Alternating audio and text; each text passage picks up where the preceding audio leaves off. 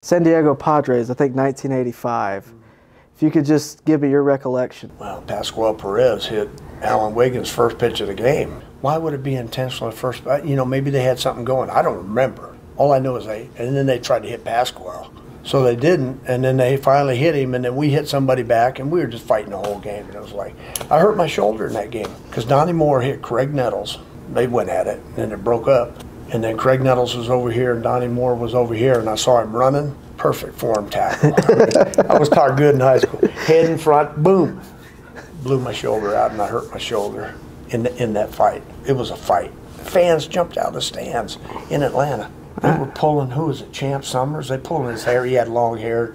Fans were grabbing it and throwing beer on him. And Well, what did you think when you saw Bob Horner come down with the cast on? yeah, he, I'm like, what are you doing on the field, Horns? Maybe hurt your other hand, you know?